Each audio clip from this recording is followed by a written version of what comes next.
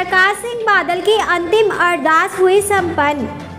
शिरोमणि अकाली दल के सरप्रस्त व पूर्व मुख्यमंत्री प्रकाश सिंह बादल की आज अंतिम अरदास एवं श्रद्धांजलि कार्यक्रम गाँव बादल में स्थित माता जसवंत कौर मेमोरियल स्कूल में संपन्न हुआ। इस मौके परिवार से दुख साझा करने गृह मंत्री अमित शाह गाँव बादल पहुँचे। तो वहीं डेरा ब्यास मुखी बाबा गुरिंदर सिंह व हरियाणा के पूर्व सीएम ओपी चौटाला भी अंतिम अरदास में शामिल हुए।